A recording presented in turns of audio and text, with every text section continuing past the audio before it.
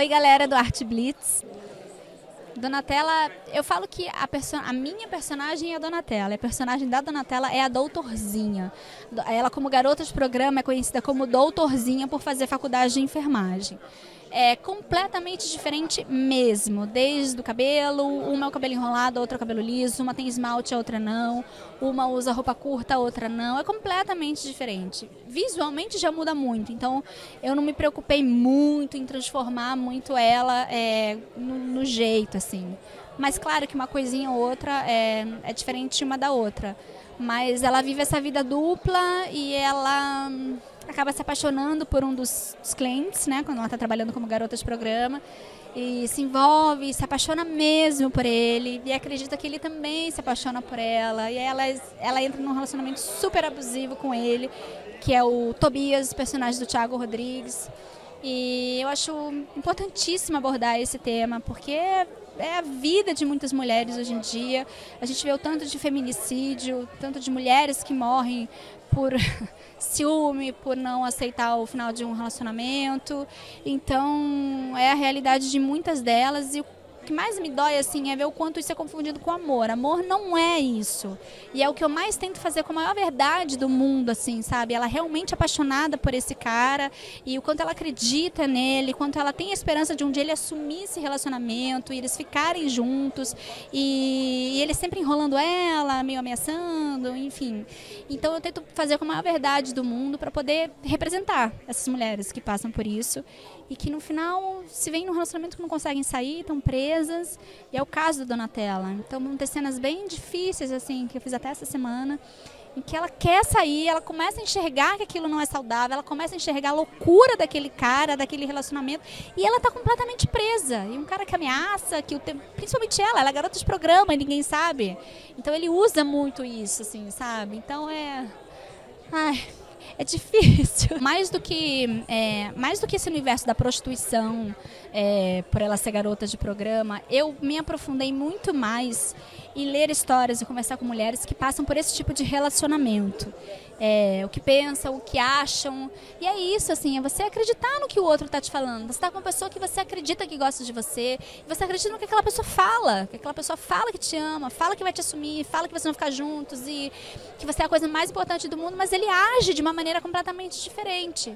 Então eu tentei é, entrar nesse universo, entender um pouco melhor, porque para mim é muito louco isso, aceitar tudo isso e entender o porquê que não consegue sair dessa relação, sabe? Não, não não tem força para sair daquilo e para poder trazer essa verdade assim para a relação da Donatella com o Tobias. Então eu li algumas histórias, encontrei algumas meninas e nossa senhora, é muito triste, muito, muito, muito triste. Ele acha que ele tem. Eu tô falando agora eu como Stephanie, vendo a história que eu já tô aqui, tipo, isso não é amor. Eu vou gravar cenas, eu falo pro Thiago, ele é louco. é porque é muito doido, assim, sabe? A gente a, vê a mulher com tanto poder agora, tão empoderada e com tanta força, e uma apoiando a outra, ver esse tipo de situação, dá vontade de, de pegar na mão. Eu tenho vontade de pegar na mão da Donatella e falar, amiga, vamos, senta aqui, vamos conversar. Não, tá tudo errado. Não é assim. Isso não é bom para você, nem para ele. Isso não é saudável para ninguém, não só para a mulher para um homem também, né? Então, é, isso, esqueci até que você perguntou, que eu entro nessa história, eu fico, ai, não é possível que ela não enxerga. Lidando diretamente agora com essa história, eu vivendo isso, eu interpretando, vivendo esse sofrimento dela e, e, vendo que ela não consegue sair, se livrar desse cara, não consegue sair dessa situação, isso mexe muito comigo como mulher, sabe, assim. É, eu venho de uma família muito forte de mulheres, a minha mãe é muito empoderada, não tenho irmãs, mas tenho grandes amigas que como se fossem irmãs e todas super fortes assim. E é isso é você reconhecer o seu valor sabe? Você se respeitar acima de qualquer coisa. Então quando você se valoriza não é no sentido de é, de achar que você é incrível não mas saber o que você merece sabe? É, eu acho que você consegue enxergar melhor uma situação que você é colocada e de repente não é bom. Então com certeza mexeu muito é, comigo como ser humano e principalmente como mulher, assim. Então eu cheguei a conversar com algumas mulheres e, e, e tentar entender mesmo, tipo, mas você tem consciência que isso não é bom para você? Você tem consciência que isso não é saudável, que esse fim não vai ser bom, que isso não vai te levar para um lugar bom?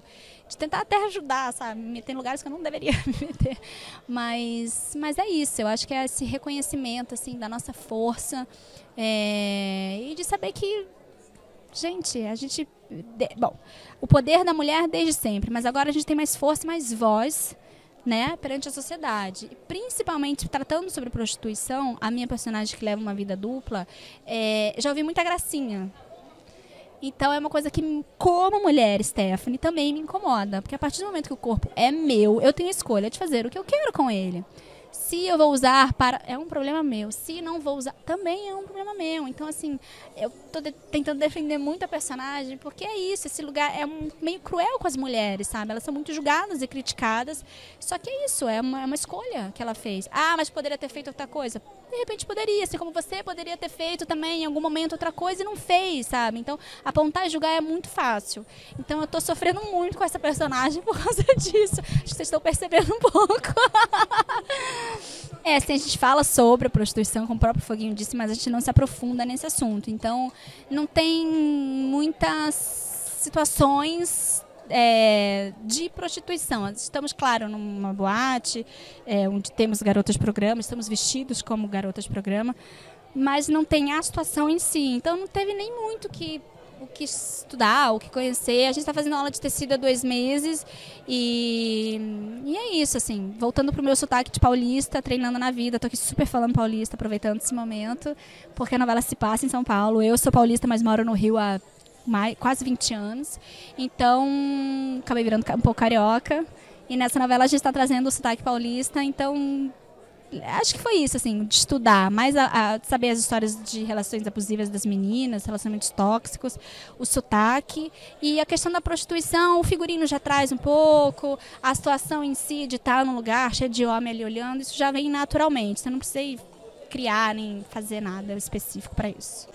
Ah, eu me orgulho de tudo que eu passei até aqui, de toda a minha carreira, que foi o que me trouxe até aqui, me fez chegar até aqui e me fez a mulher que eu sou hoje, a atriz que eu sou hoje. E eu tenho muito orgulho da minha história, assim, de tudo que eu construí. Eu acho que as coisas acontecem como tem que acontecer, tudo é ensinamento, tudo é experiência de vida, muita coisa que aconteceu na minha vida pessoal me ajudou muito na profissional. Então, tudo de ruim tem sempre um lado bom. E é, acho que o segredo da vida é esse, a gente pegar só as coisas boas e, usar, né? Eu tenho usado muita coisa da minha vida pessoal, principalmente aqui nessa novela. Então, então é isso, é sempre para para somar, eu acredito. E estou muito feliz, estou vendo uma fase bem legal, com um personagem super desafiador, num momento de vida bem bacana. Feliz. Obrigada. Nada. Sucesso.